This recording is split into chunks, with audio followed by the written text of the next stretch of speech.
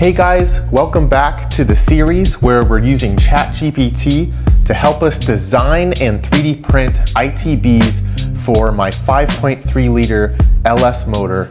Uh, this engine will be going into my rat rod project that I've been working on on the channel for quite some time. In this episode, we are going to be printing the final test assembly. So this will be uh, the intake manifold with the throttle bodies, we're gonna print this so that we can mount it on our test engine.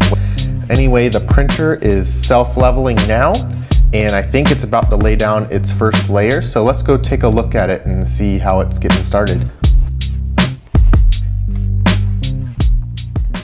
I just wanted to take a minute to welcome our new subscribers to the channel. This is our subscriber count just a few hours before this video is to be released. At this rate, we could easily be at over a thousand subscribers by the end of next week. So if you haven't done so already, please head over and subscribe. About 98% of you that are watching are not subscribed yet, and it really helps the channel. So head over, subscribe, like the video, comment, let me know what you think.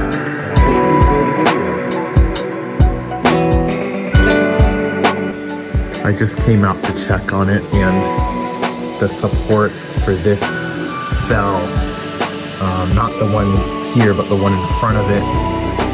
And I'm hoping it recovers. See how messed up it looks compared to, say, that one. But it looks like it's gonna recover and pull through. When the first print was about halfway done, my sister and brother-in-law pulled up after driving all night to Connecticut from Florida. And in the back of their truck is our test engine that rode along with them. And we immediately began work on unloading it from the back of the truck.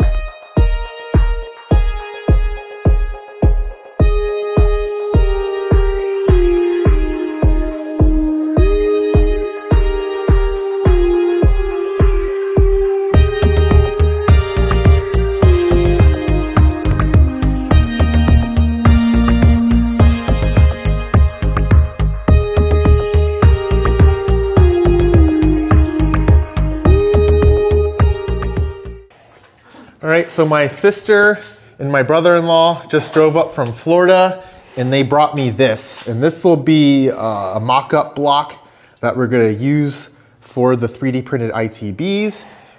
And also we're gonna use it while I'm rebuilding this aluminum 5.3 because this will be the engine that will be staying in the car. But in the meantime, this engine is gonna go in the car. So right now, we're gonna get the hoist, pluck this guy up, put it on the engine stand, and then get this guy in the car to use as mock-up because yeah, my heads are gone and this has heads and all the stuff we need. So we're gonna go ahead and get started with that.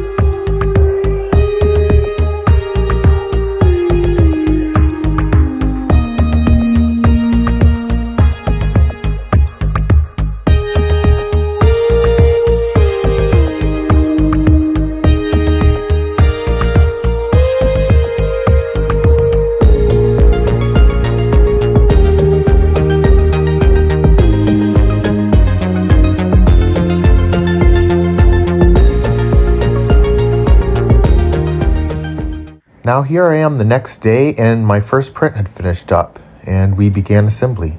I'm using this soldering iron to heat set some brass threaded inserts into the plastic intake. It basically heats the brass inserts up so that it can be melted into the plastic. I was a little skeptical at first as to how strong this would be, but after trying it for the first time, I'm quite impressed at its strength.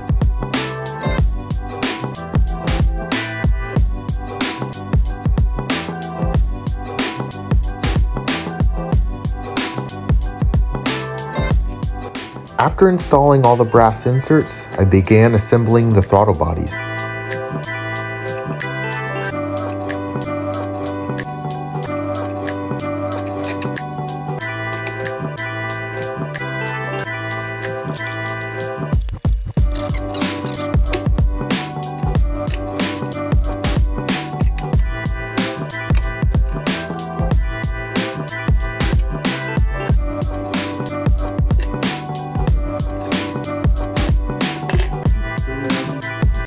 And after installing the throttle bodies, we began installing the fuel rail.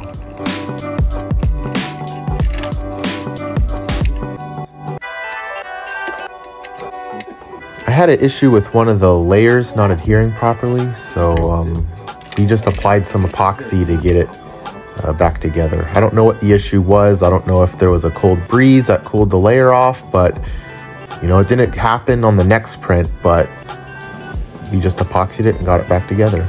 So now the next bank of intake manifold and throttle bodies is done printing and I just pull it off the bed and get it ready to assemble.